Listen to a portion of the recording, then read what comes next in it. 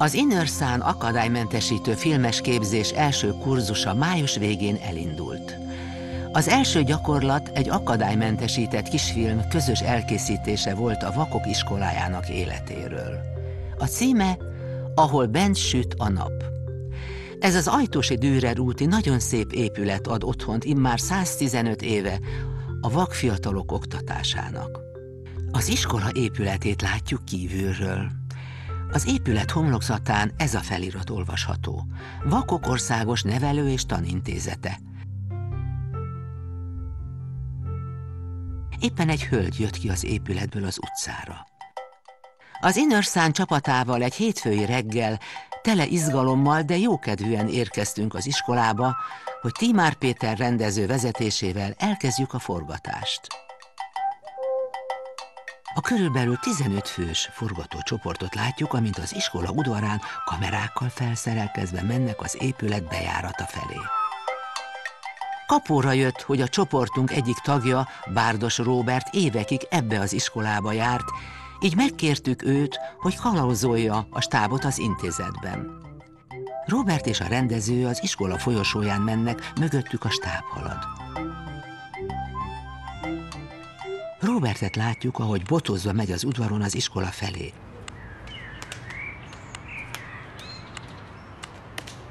Az út szélén egy kresztábla is figyelmezteti az autóval érkezőket a vakok felbukkanására, egy fehér bot és fekete szemüveg rajzával. Az iskola épület oldalszárnyát látjuk kívülről, itt van az udvari bejárat, ahová Robert igyekszik.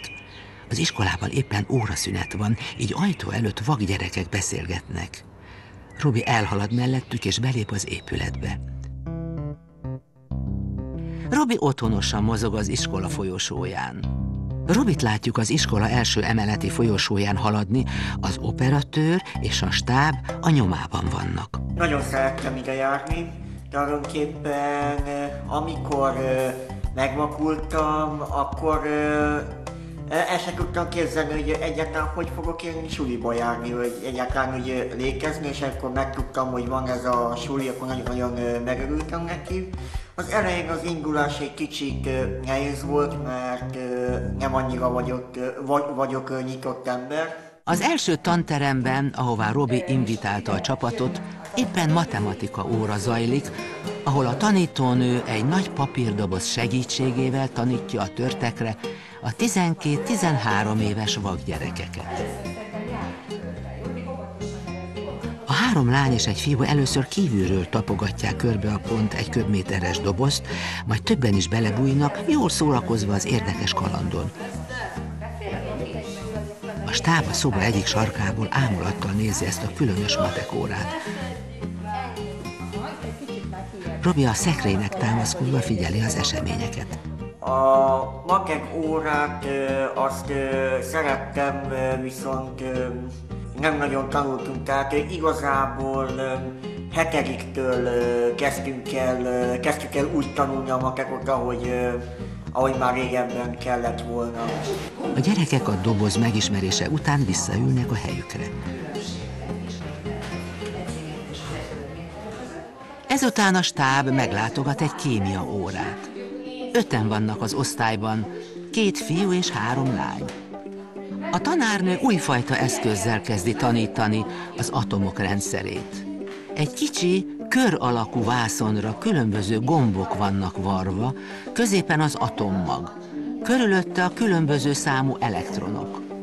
Ezek a vásznak jelképezik az egyes anyagok szerkezetét a periódikus rendszerben.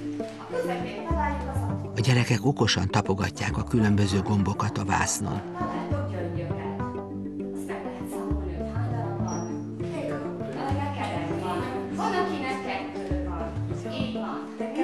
Ezután Robi elkalauzolta a stábot egy kisméretű edzőterembe, ahol a tornatanár két fiúval gyakorlatokat végzett, amit a filmesek érkezésekor éppen be is fejeztek, hogy átmenjenek a speciális pingpong asztalhoz, játszani egy meccset. Ezt a játékot minden vak szereti, nagy figyelmet és gyors reflexet igényel.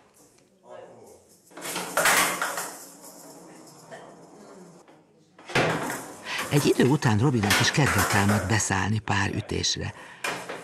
Láthatóan élvezi a játékot.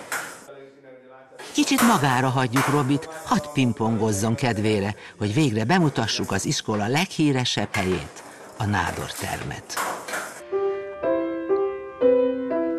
Az üres teremben egy kislány éppen zongorán gyakorol a színpadon. Eközben mi megcsodáljuk a hatalmas ólomüveg berakásos ablakot, amin a vakok védőszentjei vannak megformálva, és óvó tekintettel a vak gyerekeket nézik.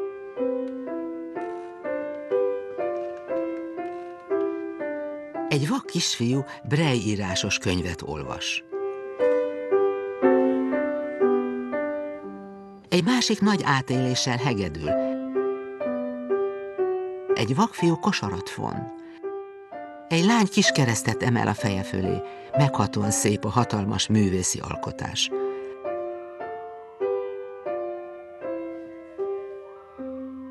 A vaklány befejezi a gyakorlást, feláll a zongorától és elindul a kiárat felé.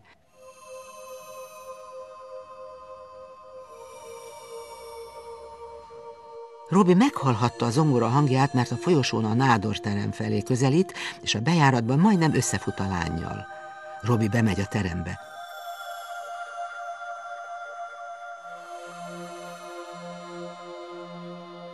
Zongora felé indul, kitapogatja a széket és leül.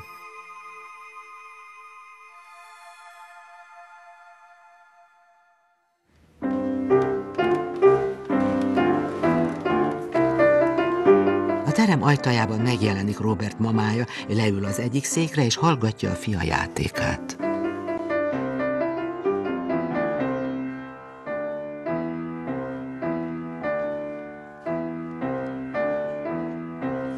A folyosóról nyílik a tankonyha, ahol éppen egy alsós kisfiút és kislányt igyekszik beavatni a tanárnőjük egy tea elkészítésébe.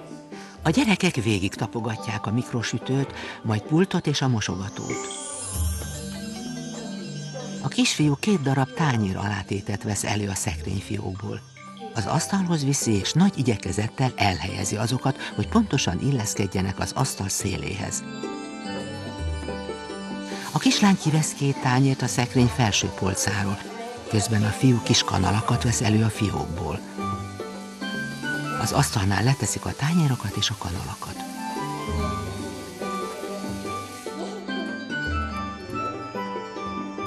A kislány két bögrét vesz le a konyha szekrény polcáról. A kisfiú a mosogató csapjából vizet enged a bögréjébe majd beteszi a mikrosütőbe. A tanárnő segít beállítani a sütő gombját.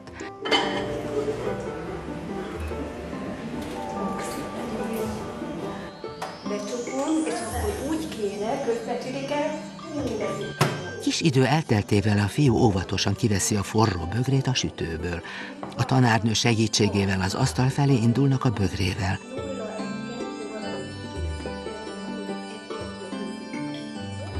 Közben a lány is odaér a sütőhöz, először megbizonyosodik, hogy nincs semmi a sütő belsejében, majd behelyezi a sütőbe.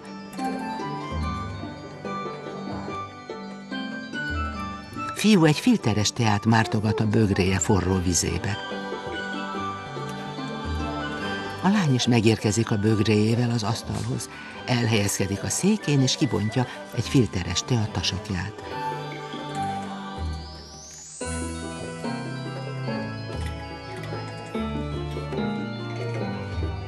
Ő is mártogatni kezdi a forró vízbe a teáját. Magukra hagyjuk őket, mert még megnézzük az iskola uszodáját. A nagyméretű uszoda az iskola egyik szárnyában kapott helyet. Az úszást oktató tanárnő fogadja az öltöző folyosójáról érkező úszósapkás fürdőruhás lányt, és a medence túlsó végéhez irányítja, majd várja a többi diákot. Egy tíz év körüli és egy pár évvel idősebb fiú lép neki az öltöző folyosóról, fejükön úszósapka. Őket is a mélyvíz felé irányítja és követi őket. Még egy fürdőruhás lány érkezik az öltöző felől, és indul a hangok után az uszoda túlsó felébe. A gyerekek elkezdik a lábtempózást maguk előtt egy úszódeszkát tolva. Az úszást, hát azt annyira úgy nem szerettem. Robi és a mamája közelednek az uszoda bejárata felé. Belépnek az előtérbe, ahol a padok vannak, egyiken egy vak kislány ül. Mindig jobban szerettem kint ülni a padon, úgyhogy amikor mondjuk megfáztam, vagy valami, valamilyen betegség miatt nem úszhattam, annak, annak nagyon örültem, főleg akkor, hogyha az osztálytársaimnak is volt valami egyéb baja, és akkor ki, kiültünk ott a padra. Robiék belépnek az uszodába, ahova mi már nem megyünk vissza, mert lassan el kell búcsúznunk ettől a felejthetetlen helytől. Még egyszer végigmegyünk az iskola folyosóján, ahol éppen szünet van, és a tanulók otthonosan jönnek-mennek. Az egyik sarokban egy kislány ül egy zongoránál, egy fiú társaságában. Innentől vak gyerekeket látunk a folyosón jönni-menni, illetve a stáb tagjai is feltűnnek a képeken.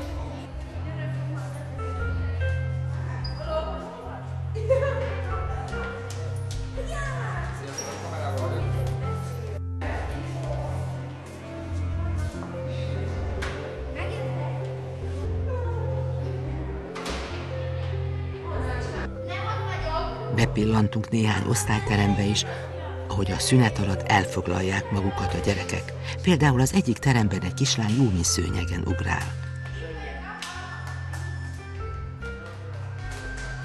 Nehéz innen elmenni. Valami különös érzés, a szeretet varázsa költözött a stáb minden tagjába. Úgy éreztük, hogy ezek a vak gyerekek befogadtak minket, és olyan pozitív emlékeket viszünk magunkkal, amiket már nem fogunk elfelejteni soha. Még egyszer megnézzük az iskola külsejét. A filmnek vége.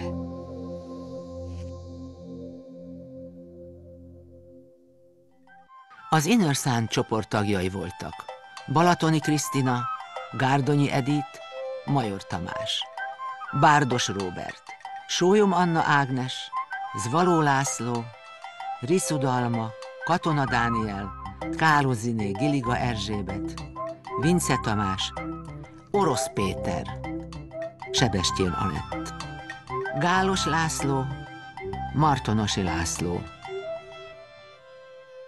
Köszönjük Katona Krisztának, a Vakok Általános Iskolája igazgató helyettesének és az iskola összes dolgozójának, valamint tanulójának.